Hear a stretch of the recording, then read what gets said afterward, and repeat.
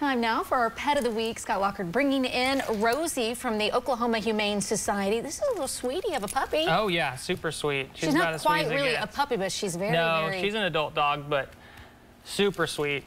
Um, you know, she is really well-mannered, too. You know, uh, she can be very cautious with she's doing great here but you know with new people new environments she's she has this little level of caution that she just takes a minute to like decide if you're safe. Great. Well, you know? now she's showing off because we're talking oh, about yeah. her. I think she does. Uh, I think she's just she does been know so chill. She's yeah. just been sitting here, yes. relaxed. And that's kind of how she likes it to be. She likes it to be calm and she likes it to be, you know, quiet. But she's pretty smart too, so she needs activities.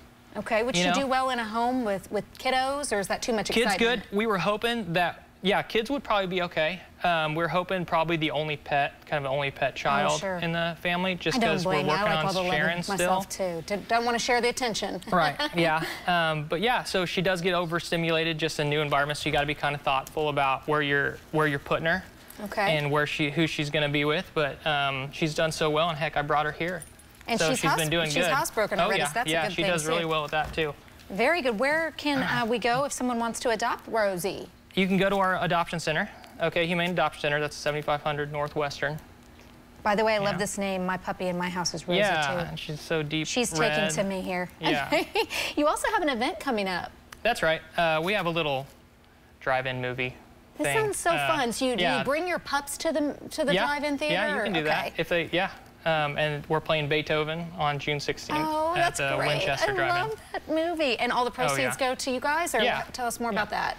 Well, yeah, that's it. Full, yeah. Okay, so the admission admission to the drive-in right. and right, yeah, and you know that's how we operate. We operate on I love it. stuff yeah. like that. So that's fantastic. Yeah. Well, we're so glad that you brought Rosie in today. I'm sure there's a house full over at the Oklahoma Humane Society. Yeah. They'll be open this weekend, totally. so head over there. And if you want more information about how to adopt a pet, just head to news9.com/pets. Thanks for being with awesome. us. Awesome. Thank you.